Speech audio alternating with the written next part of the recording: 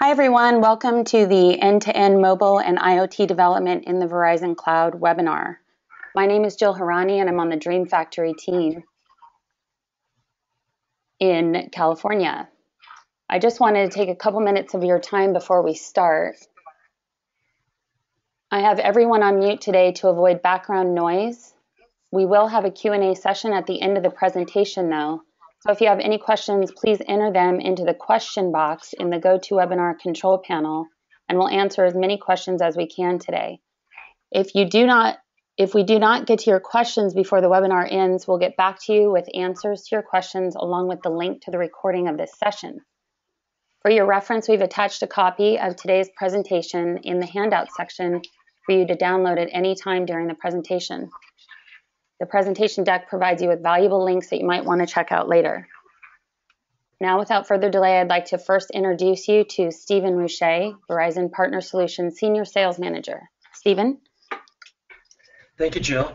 Good afternoon, everyone, and welcome to today's webinar on promoting the use of Dream Factory's RESTful backend platform on Verizon Cloud's infrastructure. Let me share my screen before I get going here. Thank you for bearing with me one second. My name is Stephen Roche, as Jill said, and I'm pleased to serve as today's session chair. Can you see my screen, Jill? Yes. Okay, great. Let me just make sure I've got the right deck up for you, and off we'll go. All right, very good, thank you. Uh, again, uh, my name is Stephen Roche, and I'm pleased to serve as today's session chair. I'm also the manager of the cloud team here at Verizon Partner Solutions, and I'm excited to be joined by Eric Rubin and Jan LeBlanc from Dream Factory.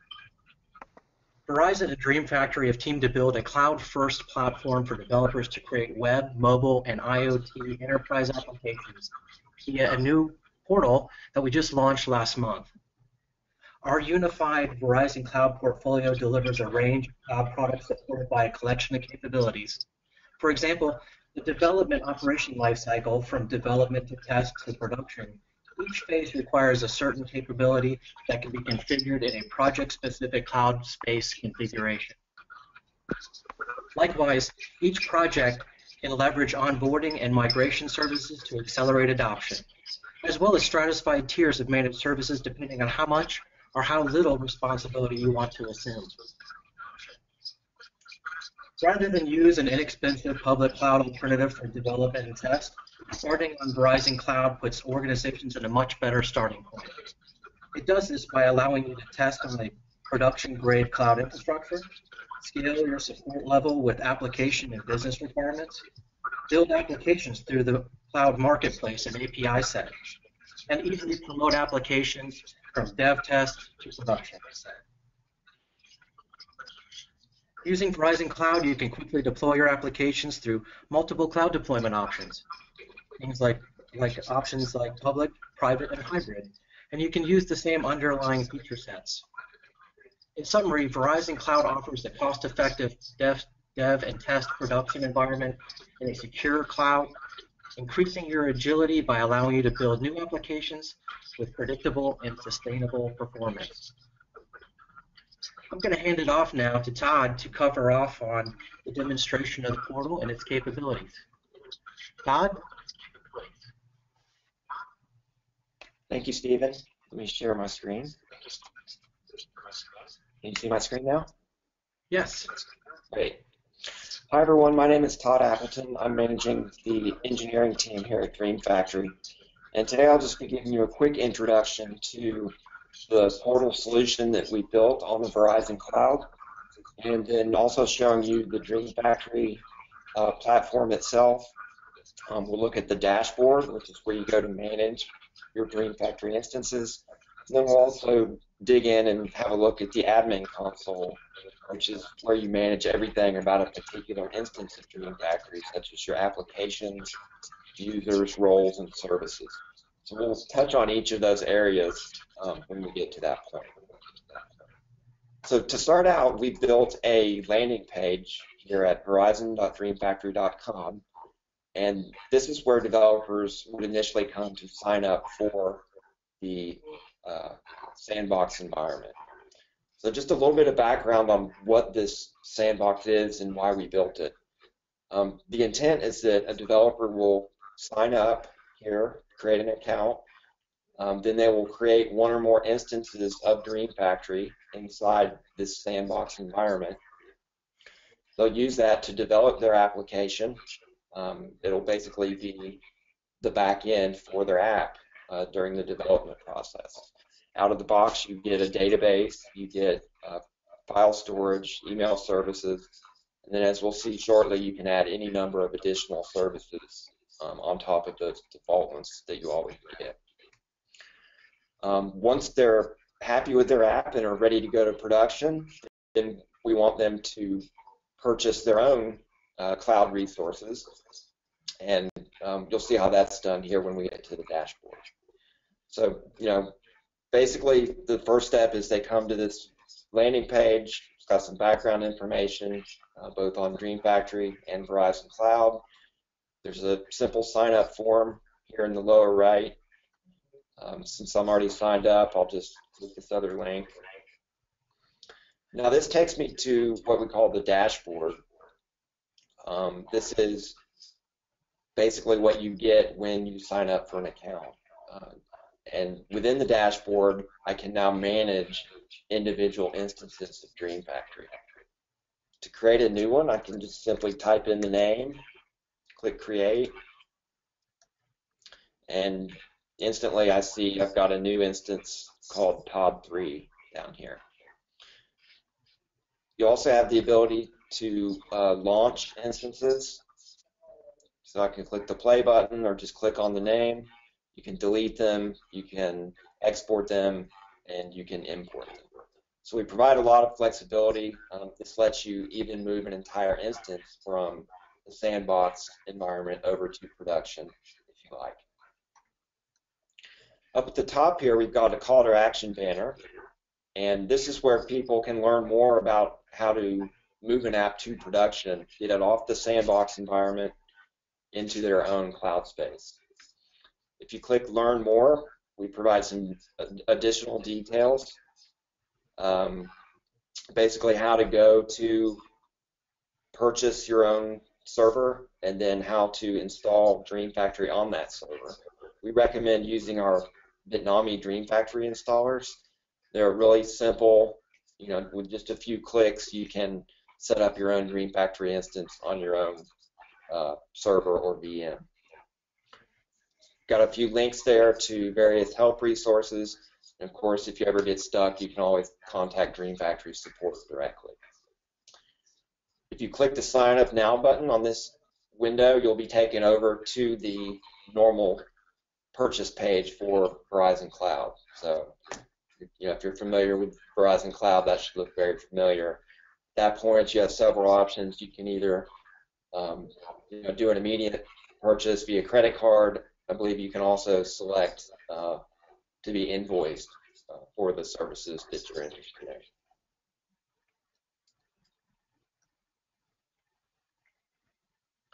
So just to recap, this is the dashboard. This is where you go inside the sandbox environment to manage your individual instances of Dream Factory.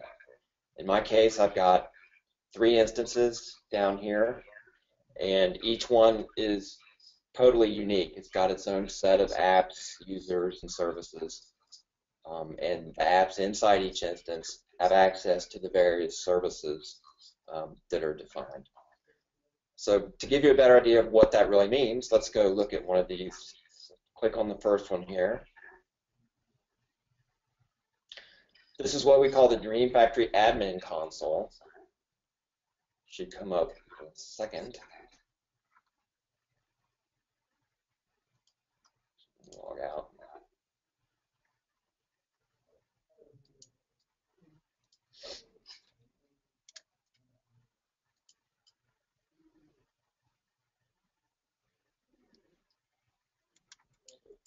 Well, that one's taking a minute to load. Let me jump over here. I've got a different one.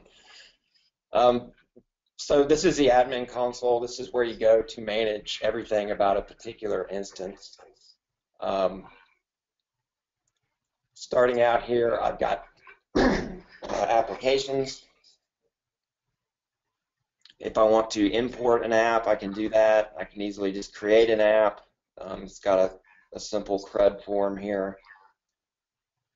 You need to do this before you can really start your development on your app. This registers your app with the Dream Factory instance and issues you an API key that you can then use to make the REST calls to the Dream Factory API from your app.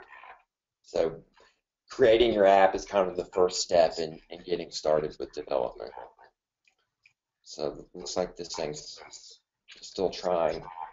Bear with me for a second.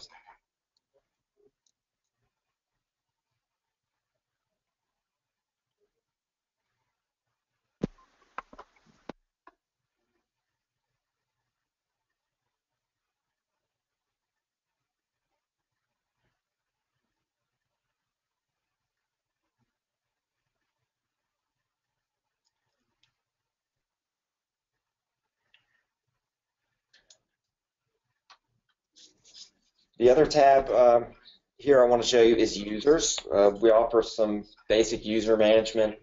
Um, you can create a new user just simply by creating the form here, or sorry, completing the form.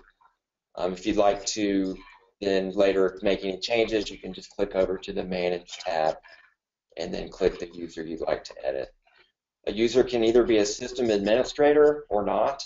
If you're a system admin, you have full access to the API. Um, if you're not a system admin, then your access is determined by your role in the system, which we'll talk about shortly. Your app will be using Dream Factory to access services. Typically, this is a database service or file storage service. As I mentioned earlier, you get several of these services by default. Um, for one, you get a MySQL database the API name for that is simply DB. So if I click on that, I can get a, an idea of, of what that is. Uh, we also offer service definitions for each of these things. So if you have like a custom service, um, you can come in here and edit that and uh, then save those changes. To create a new service, you just click Create. We offer a bunch of different database types. If you pick a SQL database, then there's various flavors you can choose from. Currently, these down here are the ones that we that we offer. The, the basic flow of a call is that your app makes a call to this service using the Dream Factory REST API. Dream Factory then looks up the service in the database to get the config information, which would include normally the connection string and user credentials. All that stored securely inside the Dream Factory database on your instance.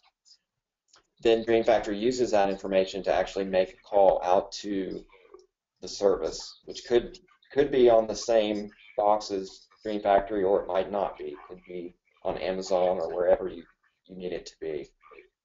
Dream Factory then gets the response back from the service and then replies back to the original calling application.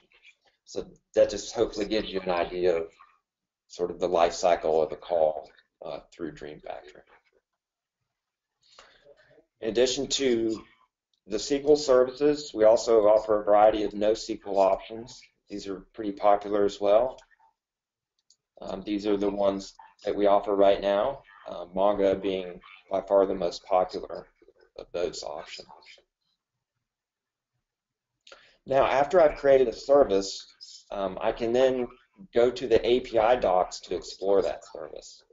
And this is a really cool feature because it, it's a great way to learn, and it's, it's also kind of a self-documenting API. So if I click DB here,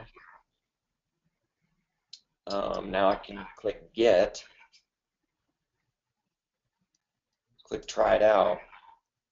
It returns a list of all the tables on that DB service. It shows the request URL, and I can break that down for you. Here we've got the URL for the Dream Factory instance. Then we've got the normal REST prefix, which is prepended to all calls. and then the service name, which was DB. Now, if I'd like to drill down a little further and look at records for a specific table on that DB service, I can do that as well. So I can come down here to get records by filter, enter a table name like to do. There's also all kinds of SQL-like filter options. Um, you can set limits, offsets. You can include related tables as well. The URL is pretty much the same, except now we've got the table name appended to the end. And instead of returning a list of tables, it's going to return all the records for that table um, based on the filter settings that, that you'd applied. I didn't choose any, so in this case, it just returns all three records that exist in that to-do table. Um, you can select between XML and JSON. The default is JSON formatted. Um, one of the powerful features we have is that you can do pre and post processing on these API calls using server-side scripting. So I'd like to give you an example of that. Looks like this one finally came back to life, so let me show you there. Think of these as database triggers. Um, on each table, you can define one of these things, which is currently JavaScript. In our 2.0 product, which is now in beta, we also offer Node and PHP as scripting options. I've put together just a simple script here to give you a feel for what, what type of things you can do. So, so this script runs, as you can see in the name, when you post a record to the to-do table, this is the pre-process script that gets run before those records are actually written to the database. This would give you an opportunity to do any kind of field validation. Um, you could throw an exception here and it would return a 500 error back to the client who could then handle the error as needed. In this case, the script just loops through the incoming request, grabbing the name field out of each record in the request and just building up a comma delimited list of names for the new to-do records that are being created.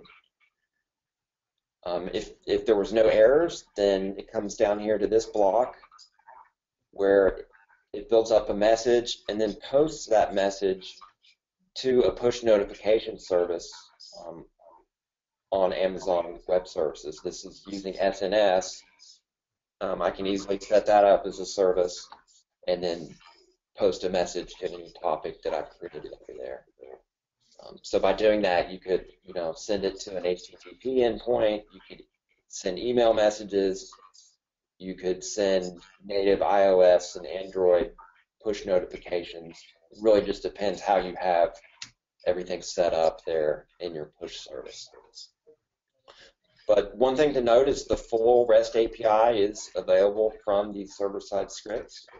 So I could, you know, go out and query a, a different table um, you know, do any kind of error checking, business logic, whatever I need to do, and then,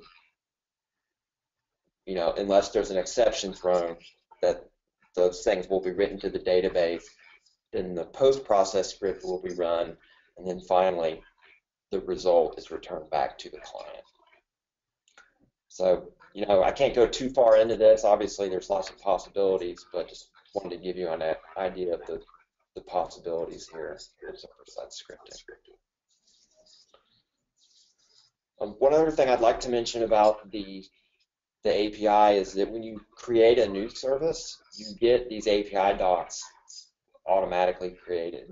Um, so if I went in and created a database service for MongoDB, it would show up in this list and have exactly the same REST API as the database service, the SQL service that I showed you earlier.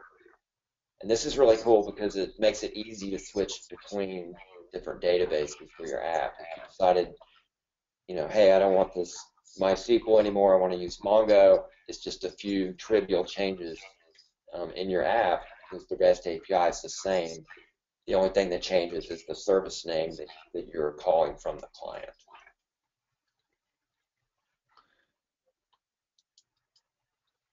Um, roles is a, an important concept because it dictates who has access to what in your system. If you're not an admin user, then you're going to be assigned a role, and that um, will dictate what services and apps you have access to. If I go to create a new role, I can jump over to this Access tab, and this is where I define um, what that role will allow access to. So I could say, for the database service and the to-do table, make it read-only, which means I would only check this get option here. And now anyone, once I save this role, anyone assigned to that role will only have read access to that to-do table. They tried to create a to-do list item update or delete one, um, they would get an unauthorized error back at the client. You can also specify whether or not um, the access applies to calls to the API or calls to the API from within a server-side script. If you really wanted it wide open, you would select both of these, and then server-side scripts would also have get access to that, that same to-do table. We provide similar access to some of the system tables um, obviously, you want to be careful with that, um, but the idea is basically the same. You can just define rules about who has access to what. Each user is assigned a single role, um, so you just need to put some planning in ahead of time and decide um, how you want that to be um, set up.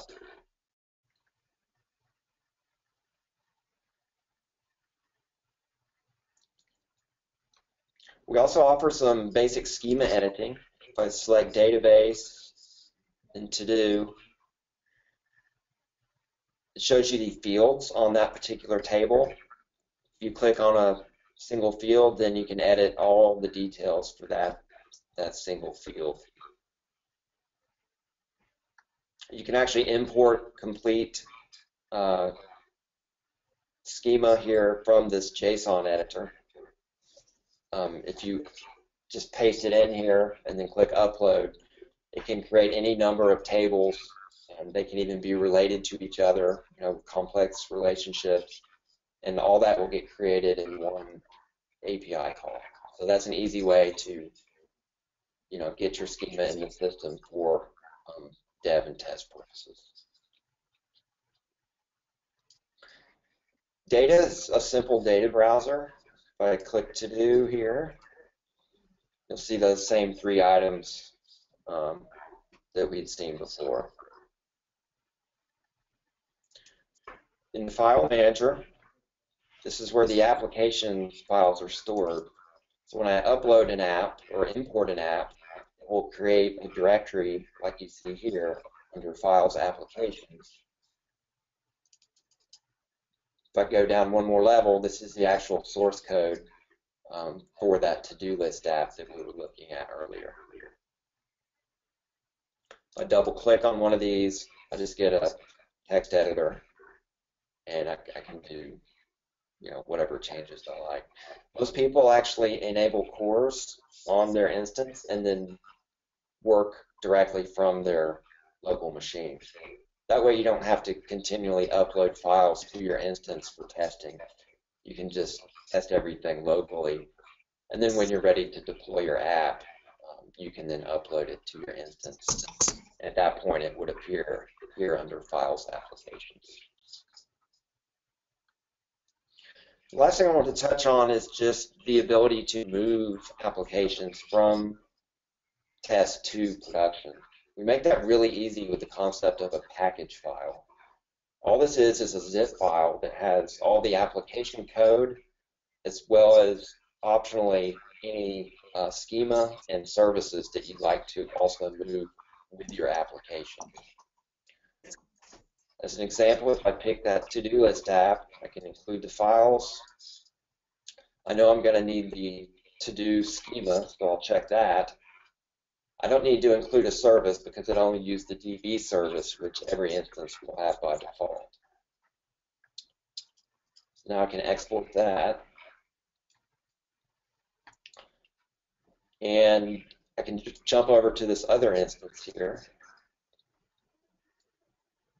This one is actually outside the sandbox system.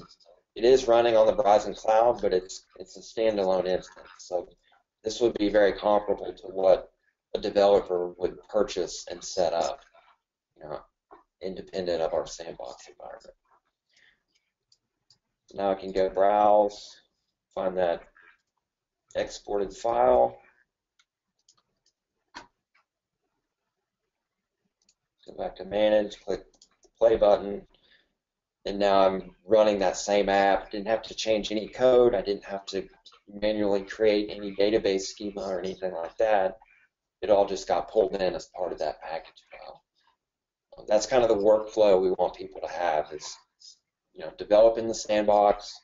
When you're ready to move, um, then you can use either the instance import export or the app package import export to move everything over to your production ready setup.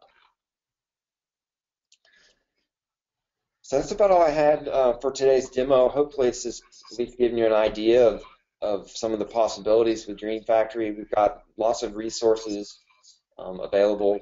If you go to our website um, under developers, you'll find all kinds of information there. And uh, as I said before, if anybody gets stuck or has questions that you can't find answers to, we're here to help as well. Our support team is great, so please take advantage of that. So that, um, turn it back over to Stephen.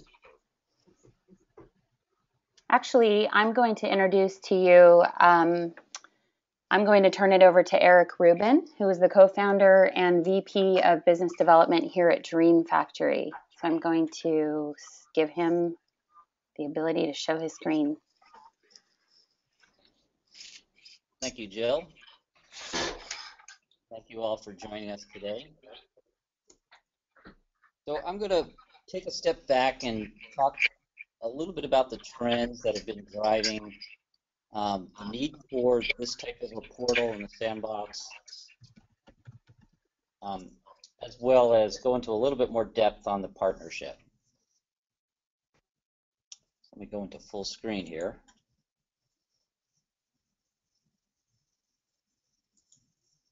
Great. So let's you know, let's start start with the trends. I mean, if you think about the way the internet has traditionally been used and how it was designed, much of the infrastructure was designed to deliver uh, web pages to dumb browsers. Um, and what's what's changed and changed dramatically over the last few years is a whole influx of new types of devices. First with phones and tablets and other smart devices, um, wearables, uh, sensors, the whole Internet of Things. And all of this has taxed the old infrastructure and is driving change for kind of a replumbing uh, to enable these things to connect to now potentially entirely different data sources and potentially a lot more intelligence up at the um, client end. So the need for the the change in middleware has been driven largely by a whole different set of new clients. Uh, and so what's going on is that the internet is, um, you know, the plumbing, the middleware is undergoing a, a major renovation, um, where on the on the front end you you have smart devices, uh, often with logic, native logic on tablets and phones, uh, and then on the back end you have a whole new set of data sources instead of just SQL databases. You have NoSQL databases. You have all different types of cloud storage. Um, and then in the communications layer, you know, what you're finding is a need for a more efficient um, way to communicate between these devices, often that have logic, um, uh, in the middle tier, the servers, um, to take advantage of um, or to be able to optimize low bandwidth networks, the last mile, you know, could could be uh, a much slower net network than was traditionally planned for, um, as well as occasionally connected uh, applications. You know, so that's all driven this need for a new type of middleware that allows devices to communicate with the backends. Um, the prevailing uh, approach has been through REST. Uh, and so what we're going to talk about today is um, how to automate um, creating this uh, REST API plumbing. Uh, and this, this plumbing is a primary pain point in the enterprise. If, if you look at just mobile alone, you know, mobilizing your enterprise, Gartner estimates that that's anywhere between 50 to 75 percent of the costs and time associated with delivering mobile applications in the enterprise is associated with creating this back-end integration, this, this plumbing that allows you to uh, now use legacy and new uh, data resources um, for delivering smart mobile applications.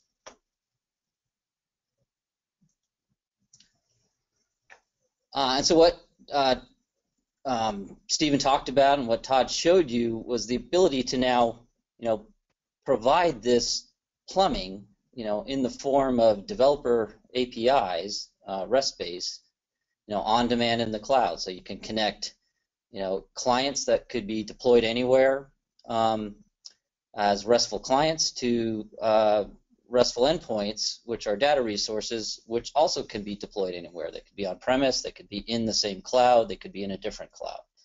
Uh, but the concept is um, in that middle tier now, an on-demand way to have a portable set of integration APIs that can exist in the cloud and work with uh, resources regardless of where they're located. And that's the you know, that's the essence of the partnership we've created uh, with Verizon. Um, if you think about it, you know there are there are multiple approaches to you know how you solve the problem of getting a whole new, whole new set of APIs to deliver mobile and IoT applications.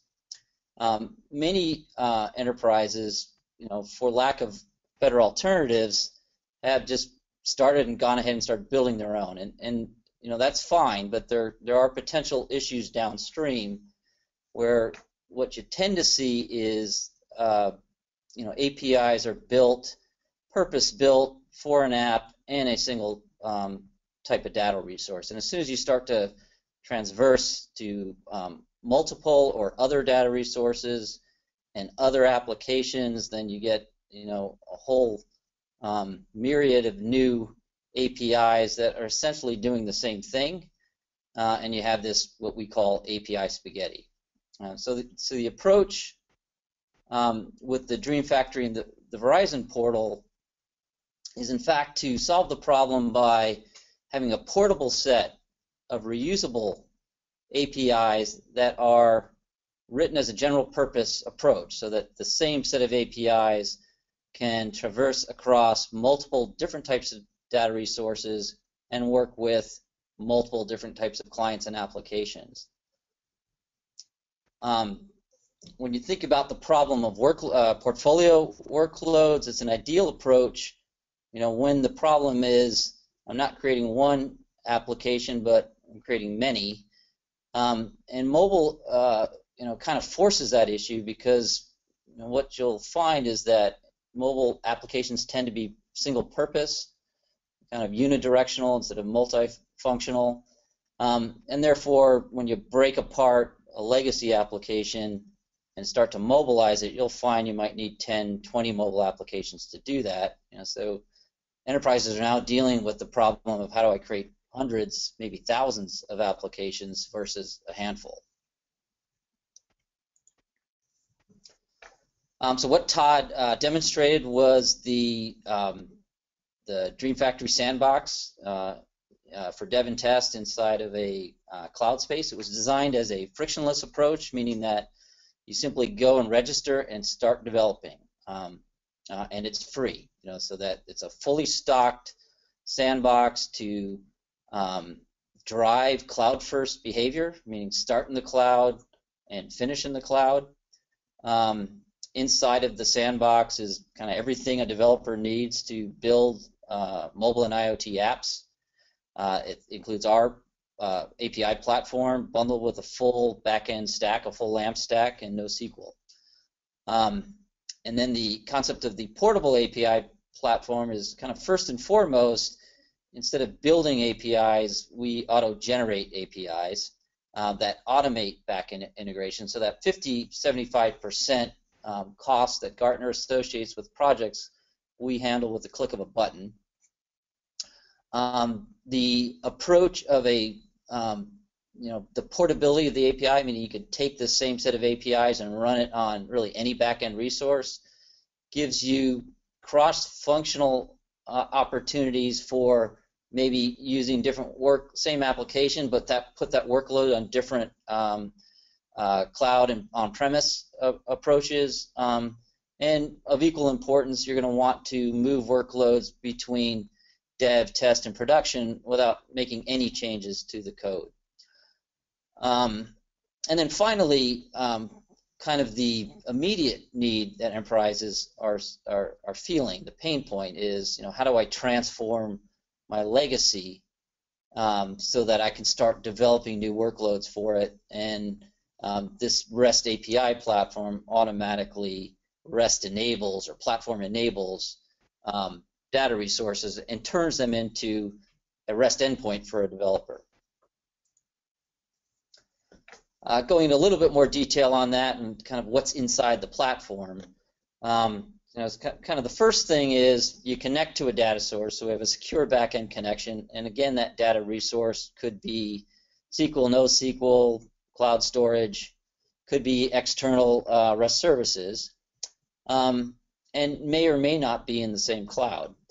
Uh, we we connect securely to the resource, and we auto-generate a set of RESTful APIs um, that are consistent across data resources, um, and they're you know developer friendly. So it's kind of tuned. Our primary customer for this platform is a modern developer. Um, inside the platform, there's the ability to um, add additional layers of security. So it will, it will, if it's a legacy system, it will inherit the schema, inherit the security roles uh, and user access, but you can, uh, uh, if it's a new uh, new resource, you can uh, apply your own set of user management and credential vaulting.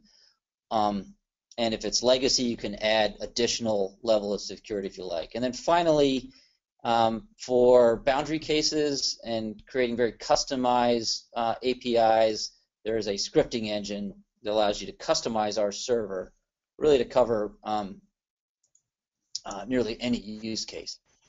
Um, so, you know, main thing transforms any backend resource, uh, legacy or new, into a REST endpoint. Um, and then this architecture allows for kind of, you know, complex or very simple hybrid deploy, deployments where you could now put the workload in the cloud um, and that's connected to uh, on-premise uh, legacy database somewhere. Uh, we talk about cloud first and uh, cloud last. So you know the idea of the portal is to create a very um, smooth progression to start in the cloud for free um, as a dev test environment, um, and then you know uh, and the dev test environment is, is a multi-tenant uh, version of our product in the Verizon Sandbox, uh, and then provide a very smooth progression to allow you to deploy um, these uh, workloads now in uh, production environments in a production cloud by you know hitting a button in the sandbox that allows you to now get a private instance. Um, primary use cases that we've seen with the dev portal are you know dev tests um, and rapid prototyping or uh, proof of concepts. Um, business model for us is the uh, it's a freemium model. The um, sandboxes um, are free, and um, we uh, uh, we together monetize on deployment of production uh, instances. Um, here's a good example of you know kind of all of the things you might want to do in this kind of a portal. So this is a, a partner of ours that's in the IoT space. Um, what they do is uh, building systems automation, so connect HVAC uh, to remote controls. Um, so they've got kind of a big IoT Internet of Things data resource um, in a cloud that they use DreamFactory to REST platform enable. So that now allows them to build applications on top of it um, to control devices, uh, control heating systems, for example, as well as monitor. And these applications were delivered on desktops and um, uh, iPads. Uh, and then additionally, the REST interface is used as a gateway to ingest data um, via RESTful services um, from these building systems and go the other direction, and allow you to control these systems via RESTful calls. You know, so it's kind of an all-inclusive example of using the platform to take, uh, a, in this case, a legacy data resource, fully REST enable it, make it a REST endpoint, use it for application development, and then you know take it one step further, um, a gateway between um, in this cloud, a cloud gateway between devices um, uh, and the database. You know, one area where, where we really feel that this is game changing is for DevOps teams because now you have kind of a single cloud approach where dev and test can occur inside of the cloud and um, you can progress all within the same environment to production instances and run all these things simultaneously so that you know with the same set of APIs, the same set of controls for um, elasticity and growing the cloud, um, everything's in the same environment, whether it's dev, test, or production.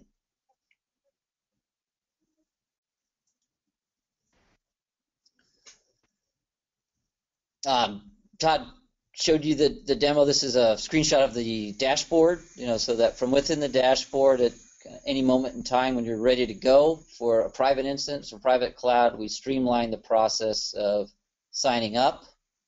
Um, and then the next step to that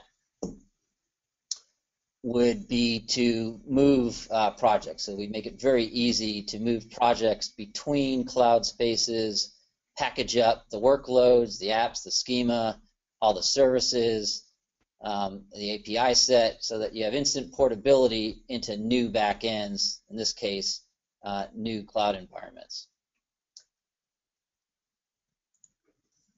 Go, I'm going to turn it over to Stephen for a second to go into a little bit more detail about you know what happens with that button.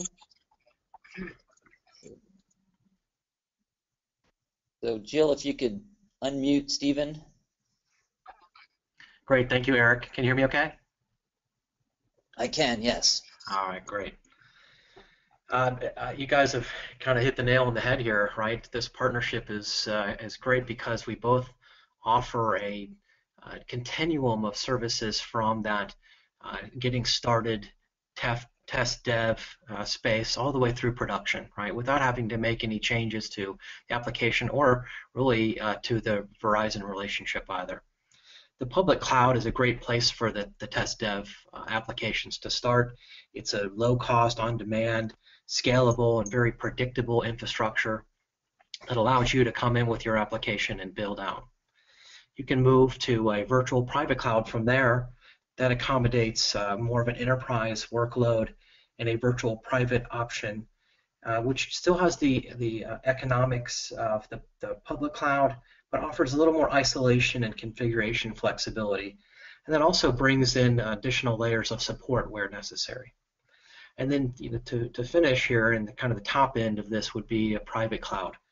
And the private cloud is designed for the more mission critical enterprise applications. And it does combine the, the economics of cloud in general with those additional levels of control, isolation, and security that your business requires. Private clouds can be deployed on our prem or yours. And that's that's it, Eric. I, I'm going to hand it back to you and to wrap this up. Great, thank you, Stephen. I think Todd did a great job kind of going through all of the different aspects to the platform. This slide, um, and I believe this slide, this whole deck is available for download if you're interested. Um, this kind of covers the main points, you know, so that the the platform itself can be deployed anywhere, inside clouds, in PaaS, on your desktop, Docker containers, you know, even Raspberry Pi. So it's even um, been deployed on gateways. Um, the main um, aspect is universal data access. So from a consistent set of APIs, um, develop, you know, that that's abstracted from the data. You can develop SQL, NoSQL, um, storage applications, hook up external web services, uh, work with new brown uh, uh, greenfield um, data or uh, legacy brownfield uh, data resources, and all of that gets presented under a single pane of glass for the developer. Uh, any clients, so we have SDKs to simplify development for kind of all of the major client platforms. Um, and then, you know, ultimately, when you're getting ready to deploy, you know, it's designed for, you know, our approach has been designed for the enterprise. So, um, you know, it has to be massively scalable on how you can grow this elasticity with the cloud um, and through uh, containerization. Um, needs to be uh, customizable to, to, to meet uh, boundary cases. Um, needs to be secure, and you know it's an open source uh, project. I mean, it's uh, you know intended to allow you to deploy it where you want to deploy it, and you know no propri proprietary lock-in. Um, the types of workloads that um, we've seen are, you know, uh, from a greenfield perspective, um, you know, use the this all-inclusive sandbox to deliver HTML5 or uh, native mobile applications, IoT, as I shown, uh, I've shown, you know, for the purposes of dev test in the sandbox, and then you know, onboard these workloads to production cloud spaces. You know, very common scenarios would be B to B to E, so business to uh, employee, or business to uh, business scenarios such as partner portals. Um, and then there's kind of the retrofit example of you know a legacy integration where I can um, take the DreamFactory platform, layer it on top of an existing data resource. I now have a REST endpoint, and now now I've mobilized it. I can now start you know, churning out mobile applications. Um, that data may or may not exist in the same cloud, um, but the workload should um, exist in that cloud. So you can now start populating workloads in a very elastic environment that's working with the data resource. Um, in the uh, deck, if you choose to download it, there's a whole series of additional information. Um, uh, here's how you get to the uh, Verizon portal. Just sign up for free. Uh, no dub dub dub. It's a subdomain. Verizon.dreamfactory.com. Um, a very good training video should should you have uh, interest in just seeing the high level uh, points uh, again of the platform. A number of case studies off of our site. Very deep presentation. Um, uh, if you're in the IoT space, uh, we put together an hour-long uh, training course on uh, how it's being used in as a gateway in IoT, um, and uh, Verizon case study um, soon to follow. Uh, so now I will hand it back to Jill for any questions. Um, yeah, Eric, there is a question that came in and I put it in, you can see it in the chat window. Okay. Okay, um, so the question is, is there a time limit or some other restrictions on the free dev portal? Um, the short answer to that is no. Um, you know, it's designed uh, as an unrestricted, fully capable, so kind of all of the capabilities of the product are in the um, are, are in sandbox. Um, uh, it's a multi-tenant um, shared um, resource, so the you know uh, uh, ultimate uh, production, the expectation is when you get to production that you will probably likely want to uh, move to a private instance. Okay. And another one just came in for you, Eric. Yeah. Um, similar uh, question, can I get a dedicated instance on the free dev portal?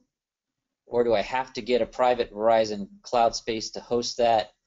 Um, as I mentioned uh, earlier, the, uh, the sandbox itself is a multi-tenant um, deployment. Uh, private instances uh, would be through a Verizon private cloud space. Um, we've made that very easy to start in a multi-tenant environment, click a button to progress to a private instance and move the workloads over. Um, so you can either start that way um, or you can um, get to that point. Okay. Um, next question. Can I integrate with our ent enterprise systems, um, specifically enterprise access control? Um, so there's a kind of a few capabilities there that I think are pertinent. It's a great question. Um, the you know the the platform itself allows you to um, you know relatively instantly integrate with any external um, REST uh, service, you know, and then it inherits all of the capabilities of the platform around security um, and scale uh, and user management.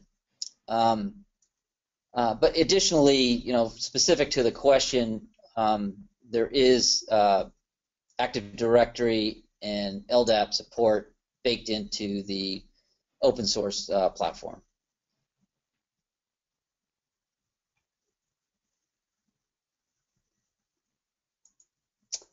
Um, next question is, is everything uh, open source? Uh, and if so, how does DreamFactory make money? Um, another great question, near and dear to, to my heart. Um, it's uh, the core technology is open source and always will be. Um, so uh, we don't try to monetize on the core DreamFactory now 2.0 platform. Um, we make money in two ways. We have a, um, you know, we sell um, support services around um, using uh, the product both from the development perspective and production support. Um, and we are, you know, very shortly going to announce an enterprise edition, uh, but the enterprise edition surrounds the core. So it's more around how do I manage multiple instances of um, uh, DreamFactory? How do I govern how they're used um, in a mul- you know in a multi-tenant uh, way? Um, and you know how do I better integrate it for elastic scaling in my environment? So it's more around the uh, management and operations, the uh, and it surrounds the open source core. It doesn't um, do anything to change the open source core.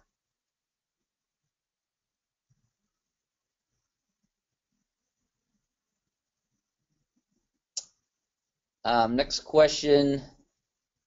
What if I already have uh, Verizon Cloud? Um, you know, that's that's uh, you know, probably a potentially common scenario. Um, I think there's two likely approaches there. You know, one one approach is you certainly could still use the sandbox in the multi-tenant environment and then move those workloads over to the cloud if you your private cloud if you only want that for production.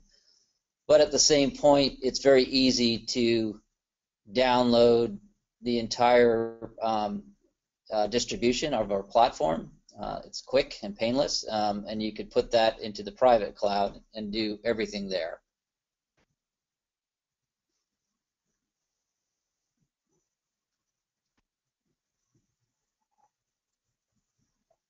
Um, I think I touched on this. So the question is, what is the difference between open source and commercial and DreamFactory? Just touching on it again. Know, the open source platform, everything that you saw today, is you know protected um, and will always be open source. The DreamFactory Enterprise Edition is the management and reporting console that goes around it and allows you to manage multi-tenant instances of the platform. Um, here's a question um, that I'll probably turn over to Verizon and maybe we can add some color to it as well. So kind of it's about how secure is data. Uh, Yeah, Eric, I, I, can certainly speak to the, the cloud infrastructure itself, right? We are ISO certified. Uh, we are uh, certainly very uh, aware of compliances in the regulatory environment to ensure that our customers, uh, that our infrastructure and in turn our customers' environment inside that infrastructure are secure. Not only do we provide the BAA, which is a business associates uh, agreement, for the facility, which helps customers customers maintain that first stop on the road to compliance. But we offer plenty of uh, consulting services around uh, governance, risk, and compliance for things such as PCI or HIPAA.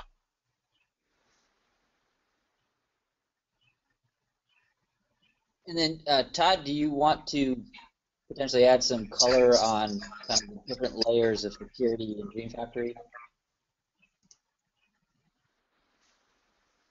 Yeah, um, as I mentioned before, we have uh, our new 2.0 platform is now in beta.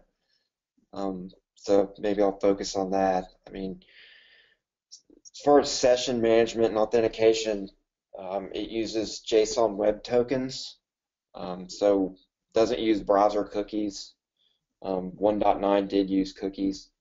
Um, so that's one, that's one of the differences between uh, the two versions. Um, then in uh, 2.0, you've got separation of concerns between admin users and regular users. Um, so I think that's actually a good thing.